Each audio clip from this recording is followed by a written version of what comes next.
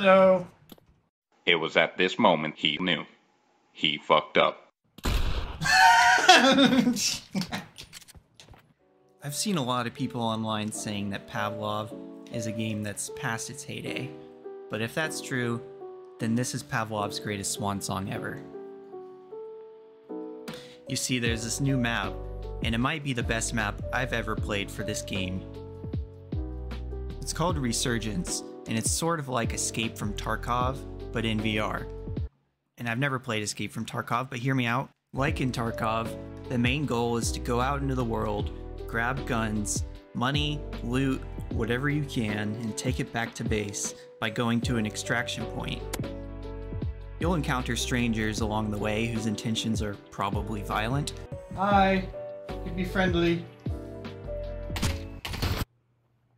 No, we can't. If you manage to survive, you can find an extraction point, and when you escape, you get to keep all your loot for the next time. There's been other game modes like this in Pavlov that I adored. One was called PavZ, where you actually had to find ammo, but in Resurgence, you have infinite, and you find a lot more guns because of that too. The real beauty is in the polish and the detail that goes into making this map work. Every time you die, or extract, you're transported to this room with other people, some of whom you've recently killed, or killed you recently, so you can imagine there's trash talking. But you have a storage locker where you can keep your guns for the next time, just by chucking them in this bin hole. You can even buy guns and drugs here. I inject myself in the face. Ooh! Wow! And the stock changes daily.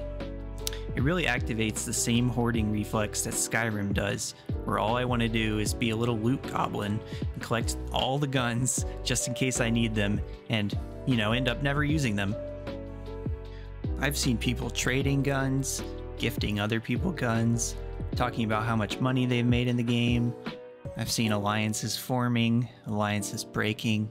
It's really a beautiful thing. When you want to deploy, you have a map in the plane to see exactly where you'll be dropping. And the map is actually really detailed.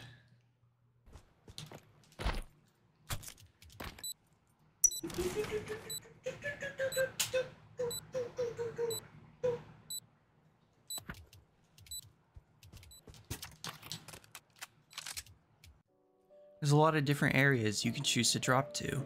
There's even periodic loot boxes that you can choose to pursue that happen randomly across the map. Um, Ooh. you take you take first pick. I like this gun. I'll do that.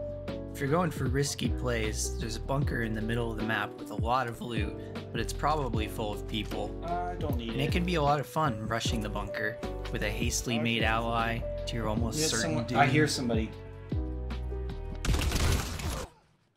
Oh! If you asked me when I was a kid if I ever imagined I would be able to strap a toaster to my face and enter virtual reality with a bunch of other nerds and commit virtual crimes against humanity, well, I don't know what I'd tell you.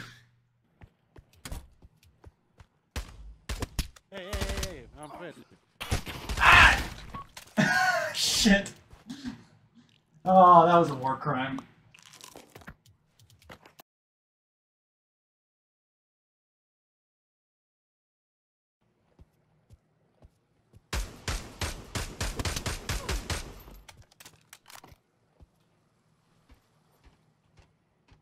One down.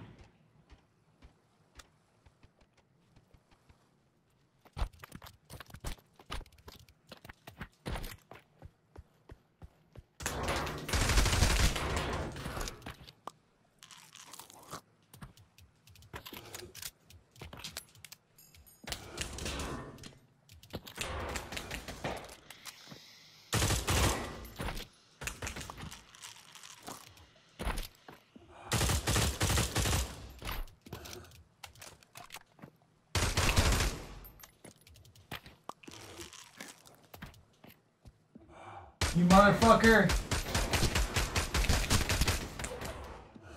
Ah! That hurt.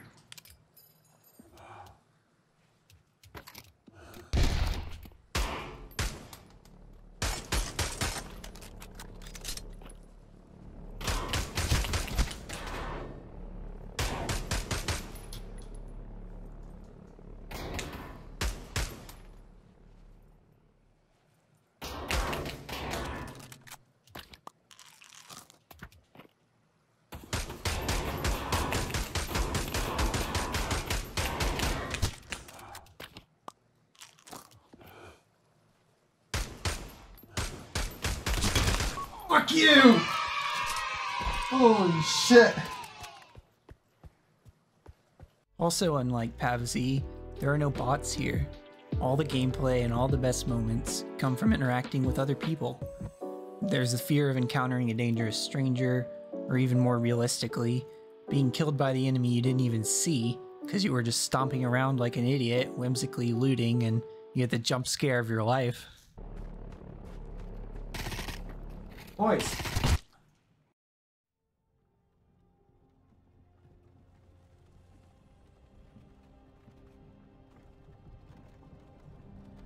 Hey, you. You're finally awake. And let me be the first to tell you, being slaughtered in VR feels way different than in normal games. like it almost feels personal, like you've really been shot in the face, and uh, I, it feels like an insult.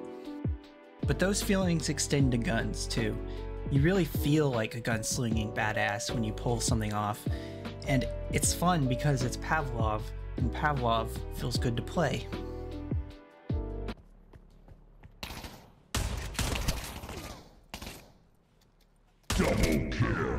You get all the strangeness you'd expect in an online open mic lobby.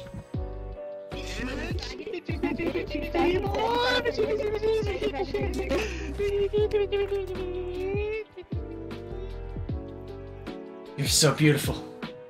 What the fuck? But I've also found some really nice people. Ta-da!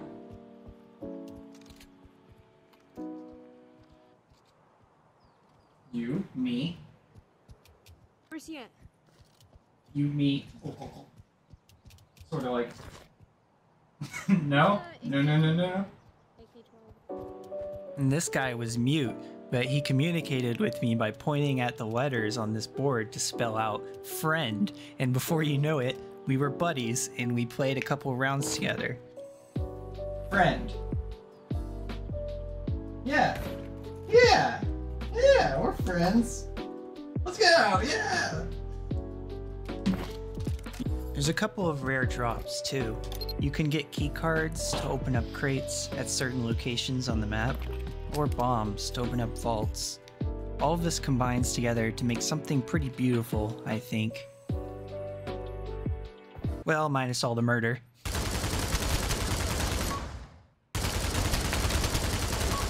Oh no!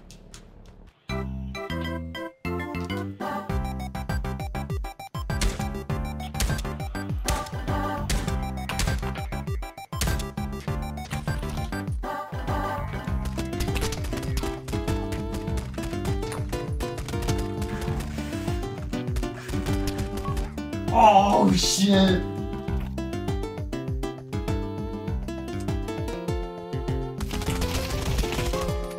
Good lord! Is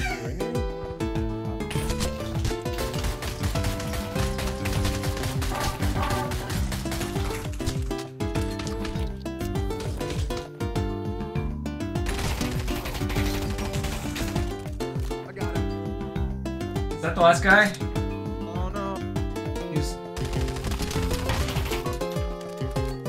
Holy shit! Anyways, if you ever play Pavlov and hop on the server and see me, I hope you say hi. Uh, maybe I'll get the chance to blow my head off. That would be nice.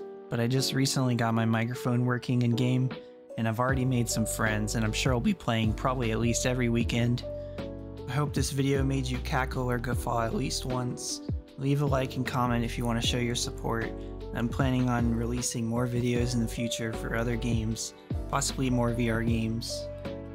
Please remember to love yourself and treat others with kindness. And good night, or a morning, depending on where you are. Look like you're telling a secret. I didn't know a secret. Oh. Sorry, I didn't mean to kiss you.